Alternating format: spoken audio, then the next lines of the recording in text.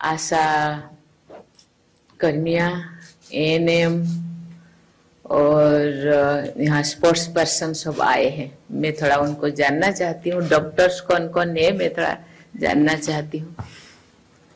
जी। जी। कितने लोग हैं? सबका पहले परिचय दीजिए फिर मैं।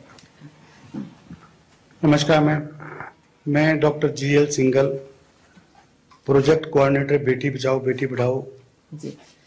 हरियाणा में जब से प्रोग्राम शुरू हुआ है माननीय मोदी जी ने 2015 में हरियाणा से शुरुआत की तब से माननीय मुख्यमंत्री महोदय के साथ काम कर रहा हूँ। और आज हमारा सौभाग्य है कि इस प्रोग्राम में आप हमारे राज्य में हमारे यहाँ बता रहे हैं हमें ये इस बात की बड़ी खुशी होती है कि कभी ये राज्य बेटियों को गर्भ में मारने वाले के नाम से जाना जाता था। यहाँ इनबैलेंस बहुत था। लड़कियाँ घर में मार दी जाती थी। मेरे पास एक एग्ज़ाम्पल भी ऐसा भी है, जब कैथल में लड़की पैदा हुई तो करनाल तक पहुँचते रास्ते में उस कपल ने उस बेटी को नहर में फेंक दिया। ढाई सौ फिटसिस एक कुएँ से हमने पटौदी, एक गाँव है हमारा रेवाड़ी के पास, वहाँ से 20 फुट कुआँ था, उनसे बरामद किए। ऐसी हालात में जब ये प्रोग्राम शुरू हुआ हरियाणा में तब ये एक बहुत बड़ा चैलेंज था हमारे साथ। इस प्रोग्राम की जो बागडोर थी वो श्री राकेश गुप्ता सर जो आपके साथ आपके कार्यालय में। है उनको संभाली गई थी।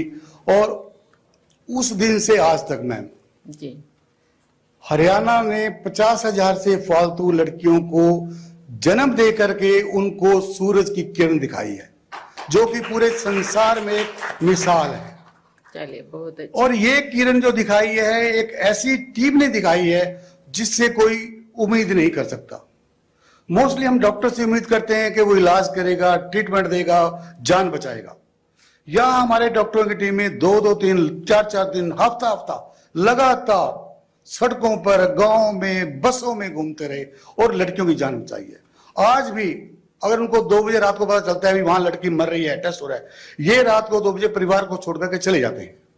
हमारी टीमें हरियाणा के अलावा यूपी, आज की डेट में यूपी हमें वेलकम कर रहा है कि आप आओ, हमारी समस्या भी दूर करो।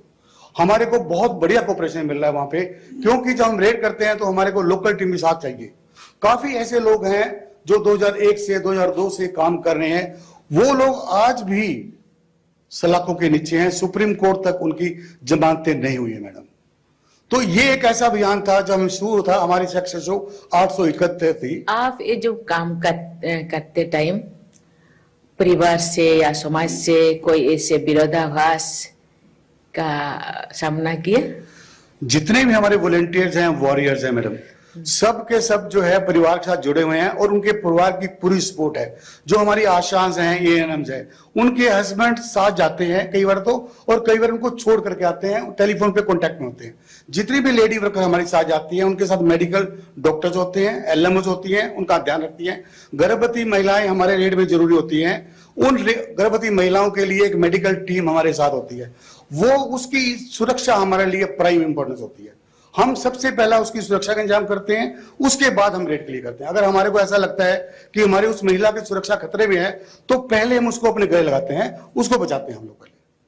अभी आप पचास हज़ार से ज़्यादा या उससे भी ज़्यादा आप बेटियों को सूरज का किरण दिखाए है, ज़िंदगी बचाई है।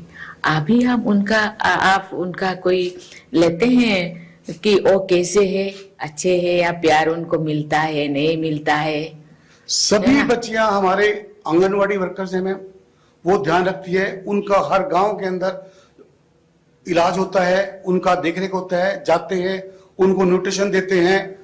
एएनएम हमारे पास है आशा हमारे नहीं पास। आप तो आप अपना काम करते हैं। नहीं मेरा मतलब है परिवार का प्यार उन बेटियों को मिलता है कि परिवार का प्यार।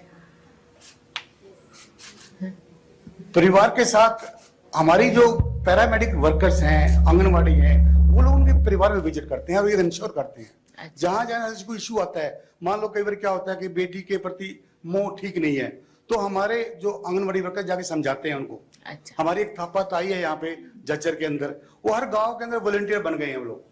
They are really